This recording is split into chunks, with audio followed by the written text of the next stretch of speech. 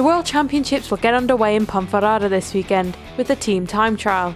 This year is the third running of the event after it was inaugurated at the Valkenburg Championships in 2012.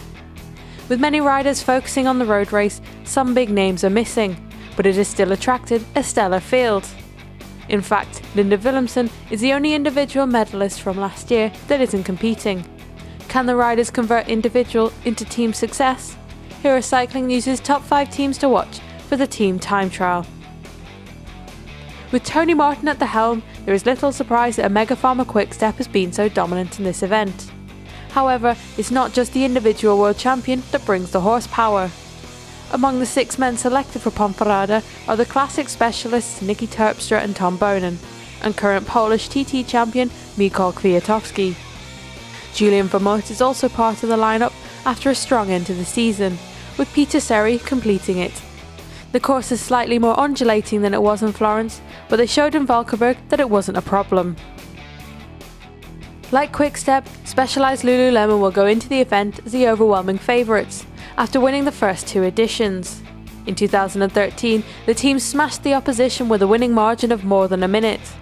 The final selection is yet to be announced, but world silver medalists Evelyn Stevens and Carmen Small will be linchpins in the six woman team. Junior world and two time German champion Lisa Brennauer provides yet more strength for the team.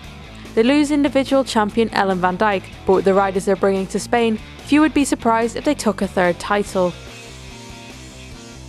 In what was almost a mirror image of the Tour de France team time trial earlier last year, Orica GreenEdge was picked to the world title by less than a second. After the close call in Florence, they've chosen to leave the team almost unchanged. Daryl Impey is out, and in comes reigning under 23 world champion Damien Howson. Current and former Australian champions Michael Hepburn and Luke Durbridge will provide the backbone of the team, as will five time Canadian champ Svein Tuft. After third and second, they have a strong chance of gold this weekend. The Liv women's team head to Spain in commanding form. Earlier this month, they dominated the Lotto Belisol Belgium Tour with Annemiek van Vleuten and Anna van der Breggen. Marianne Vos only adds to an already strong team as they look to improve on last year's silver.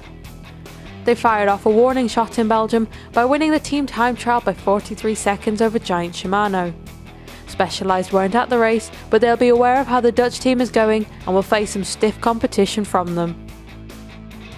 The Giant Shimano men's team could be a wildcard for this year's event. They've never really featured as contenders for the podium, but the ascension of Tom Dumoulin this season could see that change for them.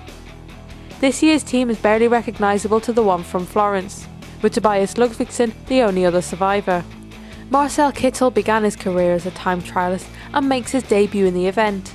He'll provide a big boost in power, and we can see the team make the podium for the first time.